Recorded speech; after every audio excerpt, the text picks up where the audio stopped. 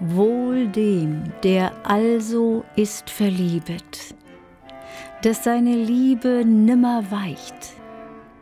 Der Neid, der sonst die Liebe bricht, der bricht doch meine Liebe nicht.